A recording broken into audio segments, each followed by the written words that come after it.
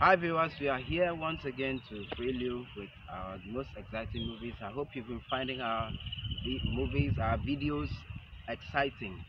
And uh, thank you for your comments and we will not fail to appreciate our subscribers also.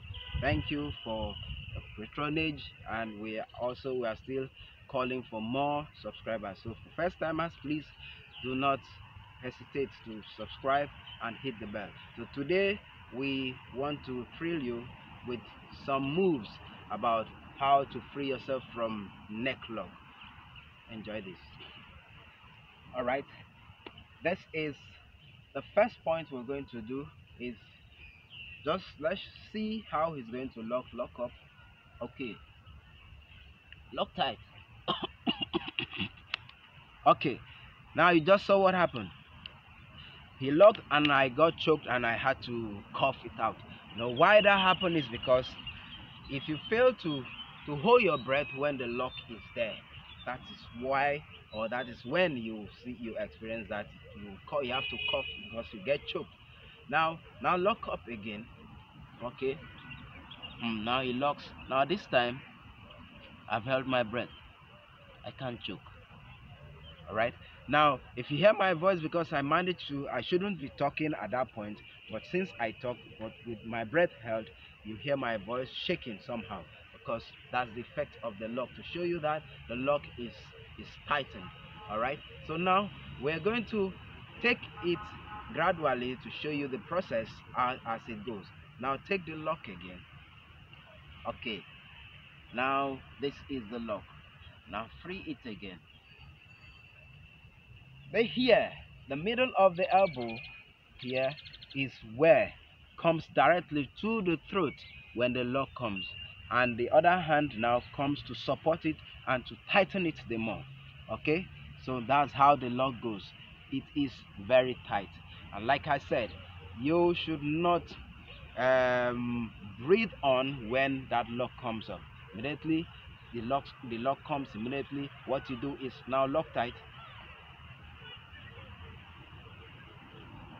See that? I just hold my breath. I don't get choked. But if I didn't hold like it happened at first, you saw it. I was choked. So now he locks again. Lock. Alright. Now for the action that will come up afterwards. If he locks now, I won't speak. I will only show you the action. When I show, then I will explain why it comes that way lock again.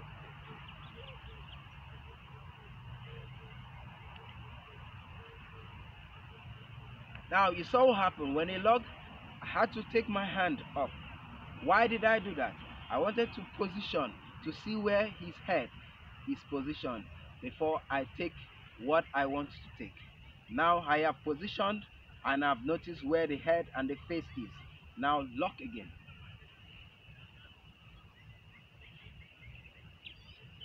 Hey!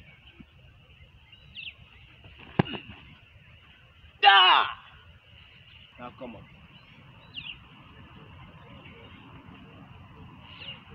That is finishing. Now, I explain. You saw from uh, uh, the first point, I did this to show, to prove, or to ascertain where the face is. You freeze again.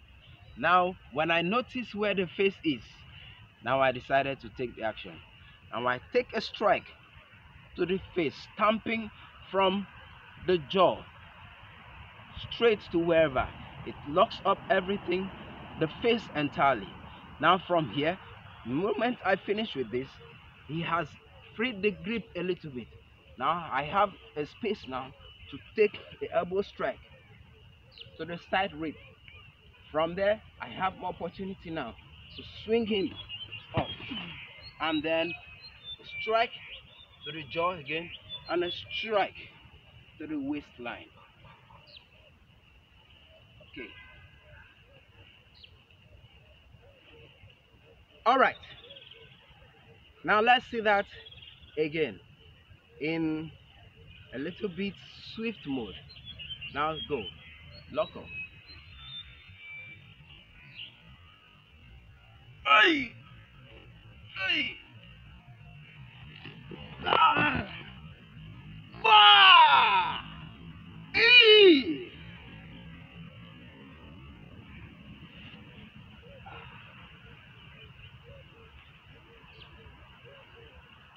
That is, you finished with that you've dealt, you've handled that situation as simple as that, clean.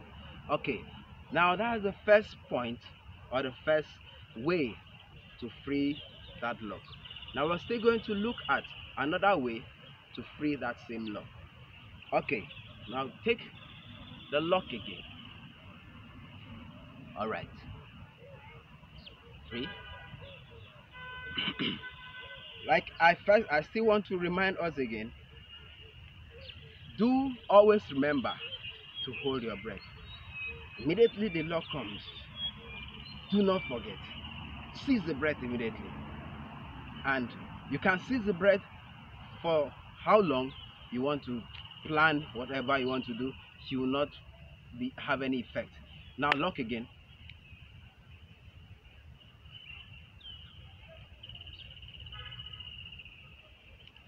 I didn't feel as if anything was happening.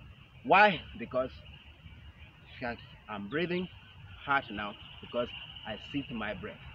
So if you can seize your breath for a long time, it can also help you for a long time to plan, but you don't need that long time. You just seize your breath for just few seconds and then you already know what to do. Okay, now he locks again. Okay. All right. I check like what I explained at the first the first move. I also check the face again where it is positioned. All right. Now he locked again. Now when I get there, I strike, bam, here, and I turn. Bam. I will see that now with the neck down here. Hmm.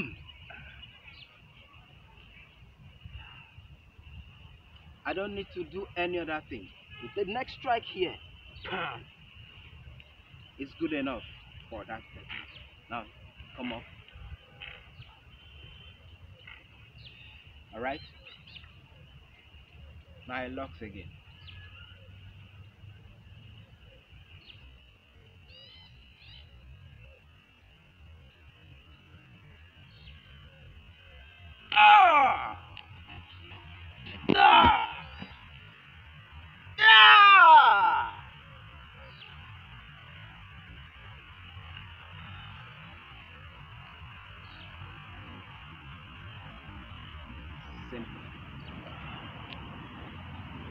Okay. All right. For more clarification, I will explain further for you to understand how the technique works. Okay, now, like I said, he grabbed and I checked. Already have in mind what to do. So I checked the position and I saw the, the face well positioned for me and I go for double strike to the ear. Tom and the strike goes straight there, clamping the ears together. Pam. And immediately I clamp the ears together, what happens is going to send a shocking sensation to him, and that shocking sensation will make him lose focus. At the first instant that happens, I grab the head together and twist out and turn him down. And when I turn him here, what happens? I position that neck for a strike. Mm! And I bet you, that strike, you don't joke with. Don't joke with that strike at all. It's a very deadly strike. And that's gone. That's off for him. Alright? Okay? Now, I hope that explanation is good enough for anybody to be able to really understand how that technique works. Alright, now let's we're going to take the third move. Alright, now he locks again. Okay. Alright, now you remember the principle. The first primary, your basic principle is for you to hold your breath. It goes all and all and all and all along with every other thing that has to do with the locking of uh, the, the neck. All right, now he locks again.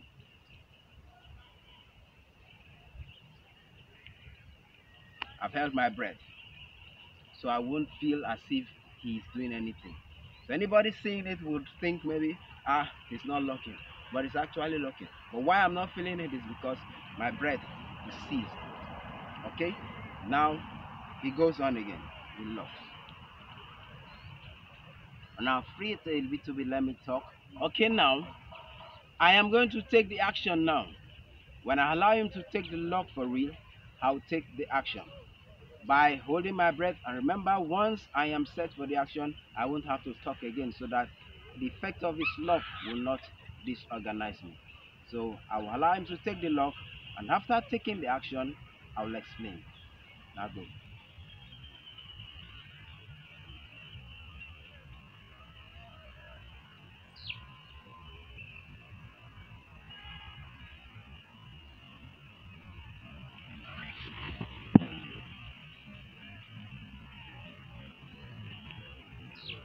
Boom! here!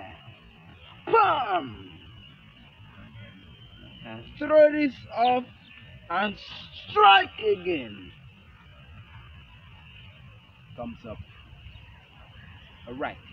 I am going to explain how that works. Okay? Now it takes the lock. Good. Now this is what I did. I realize he has locked me and I'm looking for what to do. I quickly understand what to do. I take myself a bit off here and manage to put my hand here. And the moment I got I got the space to put my hand here, then I know he's in for he's going to be in a danger. Now from here now the next thing is I clamp my hand to the shoulder here. Then I shoot myself from the waist up and from here I bend as if I'm bending down not completely to the front but to the side with my waist shooting. I go one. That's what happens okay? Then I can add up a punch here. Palm here. Strike and I throw down and I see strike here. All right? Now he comes up. Okay now i'm going to explain this action in two ways. But somebody may ask that probably maybe the person looking is is more weightier has no heavy body and is heavy. Let me put it that way is heavy and has so much weight. So you now think that by that that action that technique might not work for him. But i'm telling you it a little bit i'm telling you that it works in two ways. Why he has to follow the throw is for his own safety too. If he fails to follow the throw this is what happens to him. Now let's assume he tries to resist the throw. Look he tries to resist the throw. And i did this. Ah! Okay. That is what will happen. So for him to avoid it's more dangerous because it will affect the elbow i mean yes the shoulder and the elbow at the same time. And after that i'll still take a strike. Palm and probably strike him off again. Okay so for him to follow the throw is also for his own good. So it doesn't matter the size the weight or whatever. So he will follow the throw to help him more or resist the throw to then be more in a danger than the other way. Okay? All right? So i think with this you've been able to understand exactly the few throw pattern we've been able to show you. We still have more but we're going to pause here for today till we meet again next time. Thank you. First timers please do not forget. Um subscribe hit the bell and we're also waiting for your comments. Cheers